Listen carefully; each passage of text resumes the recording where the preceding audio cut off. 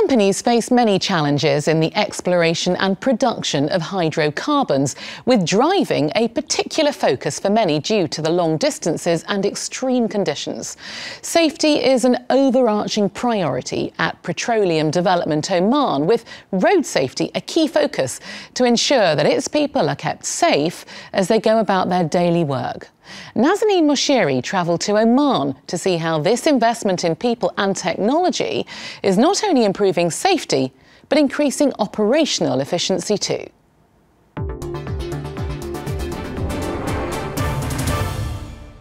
In this vast and inhospitable desert, drivers from Petroleum Development Oman or PDO must travel cautiously.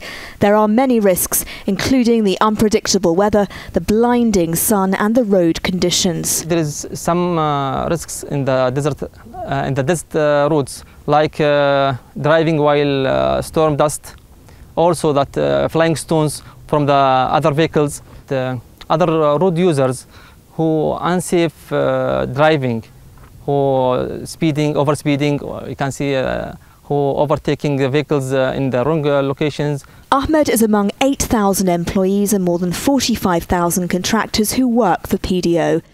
Its operation area or concession is around 90,000 square kilometres. Uh, to give you a feel of dimensions and logistical challenge, every day our staff and our contractors as they access wells, facilities, pipelines, have to travel the equivalent to the moon and back every single workday. PDO spends more than a million dollars a year on training its drivers. What they learn here in the classroom is put to the test outside. The rules are simple. Buckle up, drive within the speed limits, and be aware of potential dangers before they happen. This is also part of the training. A rollover simulator shows drivers what it might be like to be involved in an accident, and this is a seatbelt convincer. That felt quite strong. That was seven kilometres an hour, and I really felt myself moving forward, and it was actually a little bit painful there. You can imagine what it'd be like if you're speeding at, say, 10 kilometres, 20 or even 50 kilometres an hour and involved in a crash. This is all part of PDO's strategy to try to change the culture of safety here in Oman. But PDO's research discovered that training is not enough. Rules need enforcement too.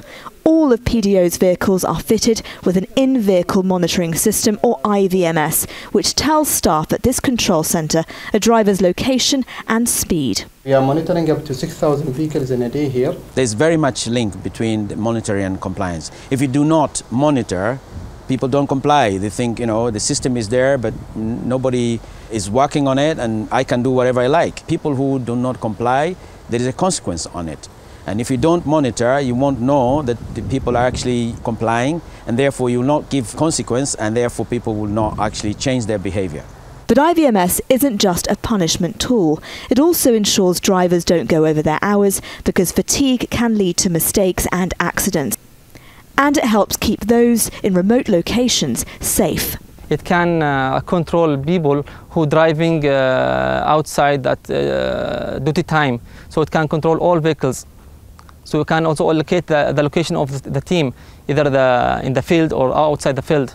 But PDO can't control the behaviour of other drivers on the road. Marwan Al Wadahi lost his parents in a car crash. They weren't wearing seatbelts. He told me, although fate is destined, people can avoid disasters like what happened to him by understanding the risks and complying with the rules of the road.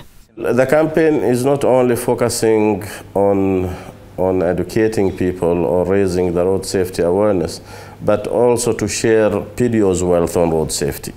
So what we are trying to do is use what we are having of training material and uh, share with them our experience and so on, and also enlighten people on what PDO is doing.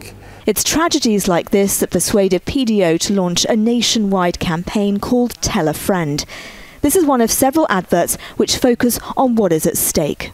Uh, PDO's commitment to road safety and the huge investment in that sector has paid, paid us by ensuring that everyone operates with us is safe and at the same time, uh, the reputation of the company is at stake. So it's really very critical for us to ensure that everyone is safe. So the commitment of PDO's management to road safety is, uh, is, is playing a critical role in that operation. PDO has gone beyond its remit within the oil and gas sector.